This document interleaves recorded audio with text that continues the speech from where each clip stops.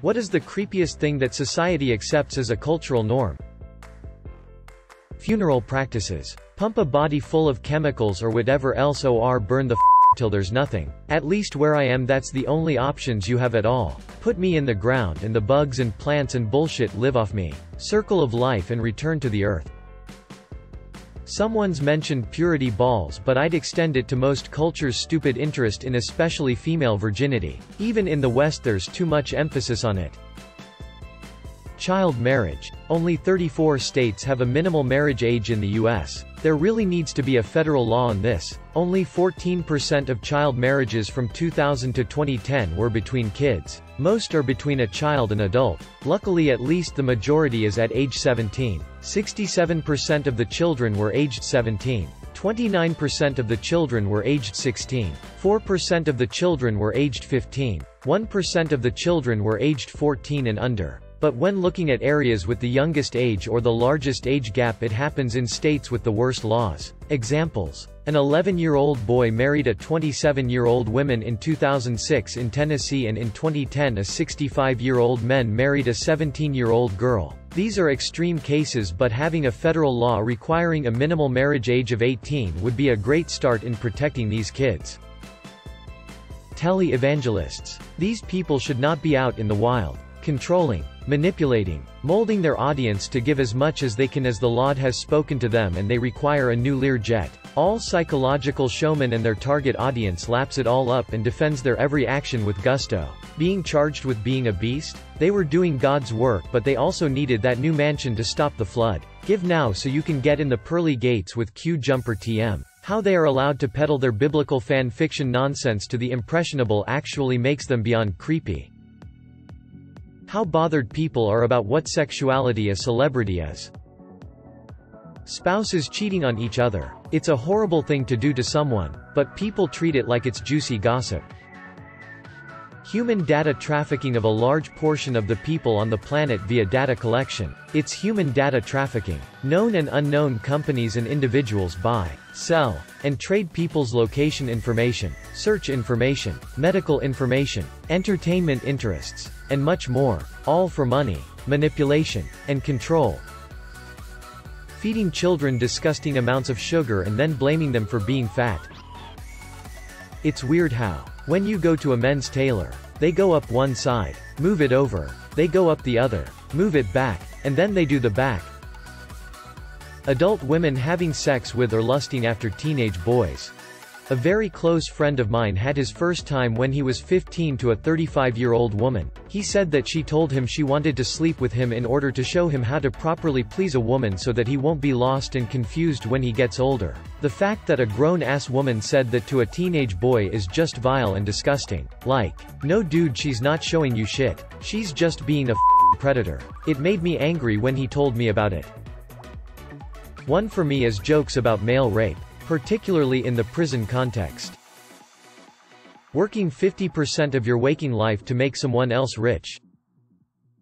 Not anymore. But when I was young Family Feud was hosted by Richard Dawson, and Richard Dawson would go down the line and kiss every woman on the show on the lips. On the lips. Even the underage girls. And he did this season after season. And back then that was somehow acceptable on broadcast television.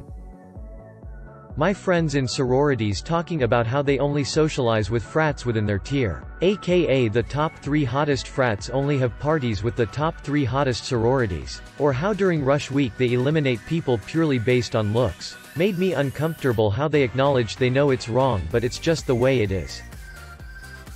Caring about virginity. Medically. Virginity doesn't exist. Nothing changes in your body when you have sex. It makes sense if you think about it. Nothing else in your body works this way. You don't have a gland in your mouth that swells the first time you have Mexican food. You don't have a bone that cracks the first time you high-five someone. Why would you have a thing that changes the first time a penis enters a vagina? But the amount we care whether or not someone has had sex to the point that we even have a word for it. There is no word for someone who has never swam before. There is no word for someone who has never kissed. But whether someone has had sex is just part of the vocabulary and in many places is a social or even legal thing.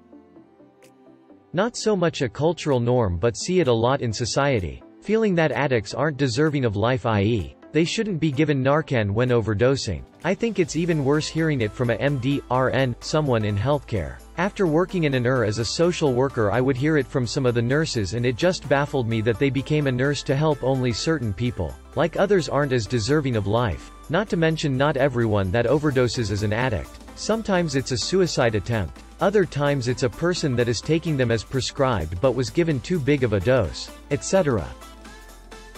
Those fake, real-looking baby dolls. The race to losing your virginity. It seriously messes with some people's minds. People sharing embarrassing pictures and videos of their kids publicly on social media, not thinking about the fact that they and everyone they know will grow up to use the internet too. Baby used his diaper to finger paint on the walls? Better film it for YouTube views. Paparazzis. They have killed many celebrities and done nothing but snap pictures while they were dying. There is no freedom for these poor people that wanted nothing but to pursue their dream. Countdowns to when a famous woman turns 18. Like being able to say that she's legal now doesn't lower the creep factor. Social media. Separation of church and state not actually being separated. Making kids be affectionate when they don't want to. The whole idea of give them a hug goodbye. Or give grandma a kiss. Screw that. I never made my kid do anything like that. I don't care whose feelings got hurt. Parents essentially recording a child's entire life from baby to adult on social media. It's disturbing to me how many parents will do this with zero regard for how their child will feel about it later in life. I'm actually so glad I was born a decade before Facebook even existed. I imagine this is going to become more of a mainstream political issue in the next couple of decades. In the form of Gen Z, alpha people demanding stronger child privacy rights as they realize their entire lives have been laid bare for all to see. People knowing every detail about celebrities' lives. Getting blackout drunk. SnapMap on Snapchat. Most people don't turn it off and you can just see where a person is and where they live and the last they were on Snapchat. Nudity not allowed on TV. But graphic violent deaths are. Shaming people particularly children for having certain diseases or needing medical care. Mental health e.g. Depression springs to mind. But complex disorders like epilepsy, cystic fibrosis, or even endometriosis invite inappropriate public comment. Patients are told they are lazy, liars, or should just die for being disabled. I worked at a health science hospital center where we had public protesters every time a healthcare issue made the news. It was creepy and felt dangerous, volatile. Not allowing elderly people to decide when they want to die. Who the hell wants to live with dementia? Obviously the retirement homes, healthcare industry makes trillions off this. Which is who shaped our beliefs on the subject in the first place without even realizing it. Cutting off part of people's genitals. People having to die or suffer being the lowest class. Child pageants. If the girl is like 16 to 18, fine. Just fine. They're almost young adults. But like six-year-olds belly dancing on stage with a two-piece. Nah, I guess that's a opinionated answer. But it just creeps me out. Brush off the idea that men can't get sexually assaulted or abused. That we install listening devices in our homes and then cry about our privacy being undermined. I'm European and I think it might make people uncomfortable how okay I am with nudity. I think the world would be a better place if nudity stopped being so vilified. Like, we're born naked. Simply being naked doesn't have to be sexual. Taking photos, videos of strangers. Public proposals. Someone dressed in a funny outfit. Seeing people get wedding photos taken in a public place and deciding to photograph the bride etc. I always get really frustrated when I see something like a proposal go down and they're suddenly encased in a circle of people with their phones out. It's normal to give up your personal data for no good reason. If you refuse or voice your concern people look at you weird because why do you care if you have nothing to hide? You lost your virginity when you were a little boy? Lucky kid. You were molested by an adult when you were a little girl? He's dead. Seriously. It should be the same for both scenarios. Like, what's so lucky about an adult taking advantage of a kid, regardless of gender? Well in South Africa we have this cultural practice called virginity testing where an old woman will take your female child into the bush, shove her finger into her vagina to see if she's still a virgin and if so she and a bunch of other girls that have undergone the same process will get to dance topless in front of the chief at the chance of one of them being his bride. I mean the practice of the act is protected under cultural law but still, you're letting someone your grandmother's age finger your daughter in the woods. He, she is bullying you because he, she likes you. Jeffrey Epstein being murdered in prison before he could spill the beans on a worldwide child sex slave operation for the elite. Amazon Alexa and Google Home. Those things are always listening and hear everything you say and do. Yet everyone has them and Spotify was handing them out for free. Each day we get closer to a 1984 situation.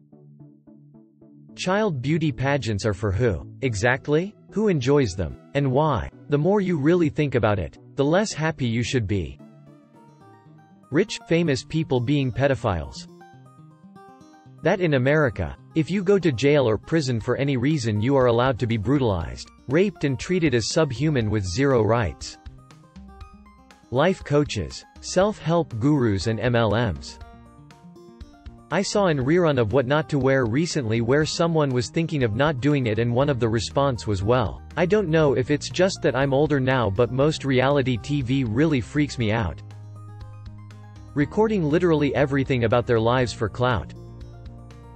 Pretending that terrible things aren't happening in their community. Every night. I don't understand why so many people will let others suffer and die to maintain the illusion that they live in a good neighborhood or stuff like that doesn't happen here instead of taking action to actually have a good community. Oh so and so's toddler is smiling at you they have a crush. Like just stop already it's creepy and disturbing.